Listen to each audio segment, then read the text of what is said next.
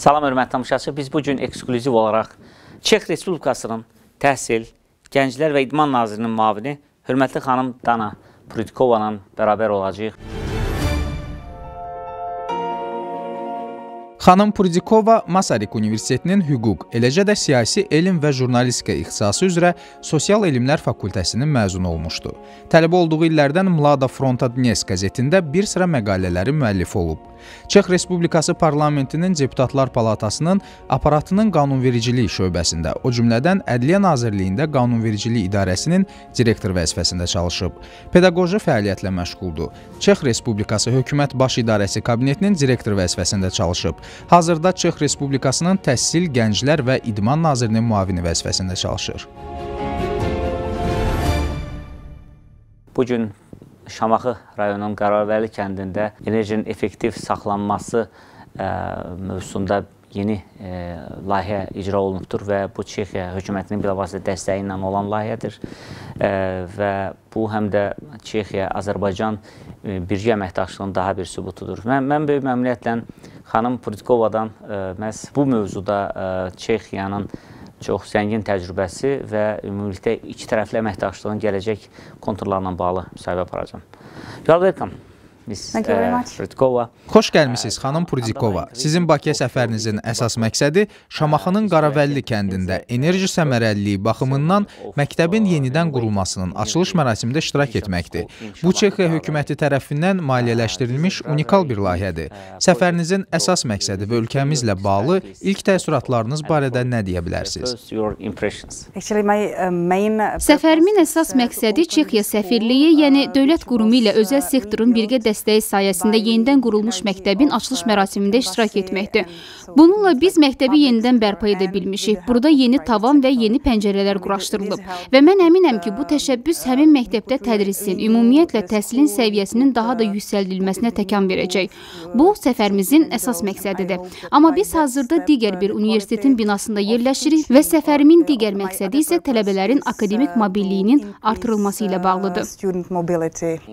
Enerji səmərəliliyi BMT-nin 2030-cu ilədək dayanıqlı inkişaf sahəsində gündəlikdə əks olunan dayanıqlı inkişaf məqsədlərindən biridir. Bu mövzunun əhəmiyyətini nəzərə alaraq Çexiya dövlətinin məktəblərdə enerji səmərəliliyi sahəsindəki təcrübəsi barədə bizə məlumat verə bilərsinizmi? In school. Uh, actually, Ekoloji təhsil həqiqətən də Çexiya Respublikasında çox əhəmiyyətli bir mövzudur. Biz bu mövzunu kurikuluma daxil etmişik, belə ki, bağçadan başlayaraq balaca uşaqlar az da olsa bu mövzu ilə əlaqədar maarifləndirilir, daha sonra isə məktəblərdə, kollec və universitetlərdə bu fənlər ətraflı keçirilir. Biz bu mövzu ilə bağlı uşaqları yalnız məlumatlandırmaqla kifayətlənmirik, bununla bağlı təcrübələr də təşkil edirik. Belə ki, biz Azərbaycanda, yəni Şamaxıdakı məktəbdə olduğu kimi, Çexiyadakı məktəblərdə də tədris tədris binalarını modernləşdirir, tavan və pəncərələri bərpa olunan enerji mənbələrindən istifadə üçün yararlı materiallarla əvəz eləyirik. Bununla da məktəb binasını daha da müasirləşdirir və tələbələrin təhsil alması üçün yararlı vəziyyətə gətiririk.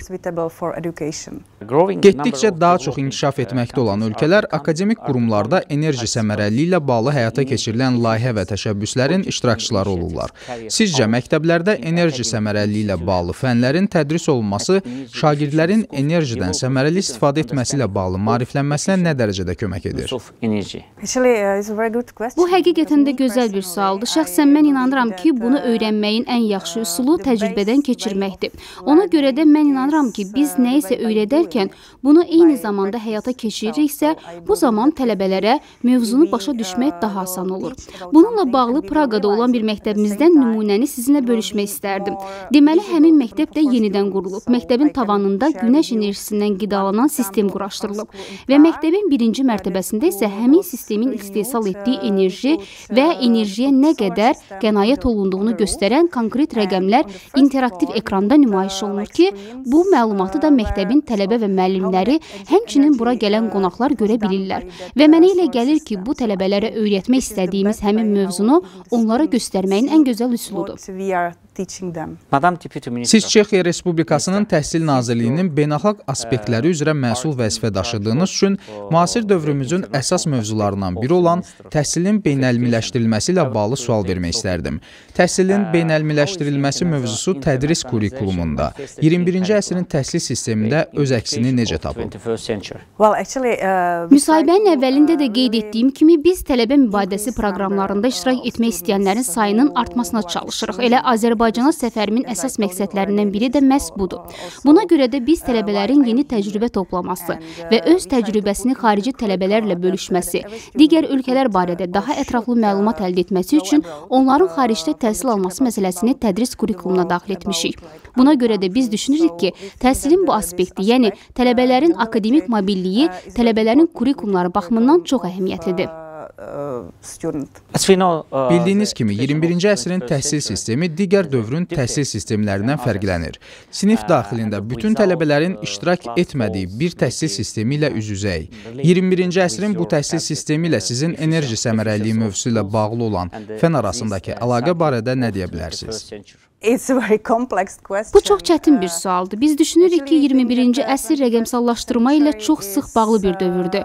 Buna görə də biz məktəb binalarının deyil, tədris proqramlarının da modernləşməsinə və daha çox rəqəmsallaşdırılmasına çalışırıq. Şəxsən mən belə hesab eləyirəm ki, əlbəttə tələbələrə məktəbdə təkcə savadı deyil, həmçinin onlara keçirilən məlumatlar barədə kompleks şəkildə fikirləşmək və tənqidi düşünmə qabiliyyətini aşılamaq lazımdır.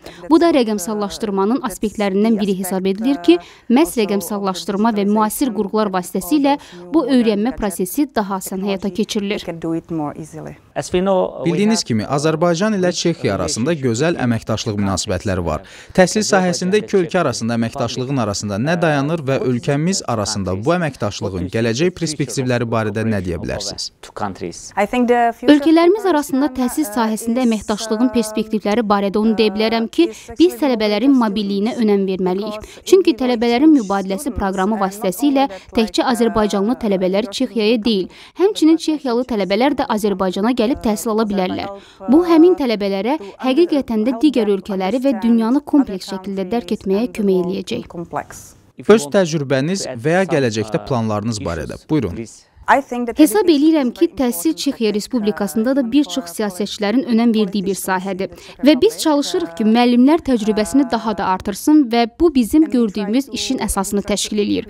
Çexiya Respublikasının təhsil sahəsində 2020-ci ilədək nəzərdə tutulmuş dövlət strategiyasına uyğun olaraq biz əsas 3 sahəni götürmüşük. Bura təhsildə qeyri-bərabərlik, elmi təhsil sistemlərinin idarə edilməsi və müəllimlərin ixtisas keyfiyyətinin artırılması.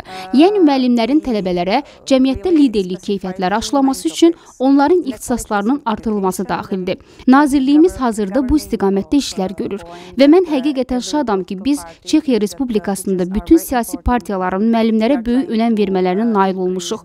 Biz müəllimlərin məvaciblərinin artırılmasına, bununla da onların sosial statuslarının yüksəldilməsinə çalışırıq ki, bütün bunların da əsas məqsədi uşaqlarımızın təhsil mərkəzlərində ən yaxşı təhsili əldə edə bilmə imkanının olmasıdır. They can get. Xanım Purdikova, müsahibəyə thank you görə çox sağ olun. Çox dəyərli və maraqlı fikirləriniz üçün sizə minnətdaram. It was my pleasure. Thank, you Thank very you. much. Hörmətli tamaşaçı, biz bu gün Çex Respublikasının Təhsil, Gənclər və İdman Nazirinin müavini e, xanım Dana Purdikova ilə bərabər e, Azərbaycan Çexiya birgə təhsil əməkdaşlığının ayrı-ayrı konturları barədə danışdıq. Sağ olun, növbəti efir vaxtına dək.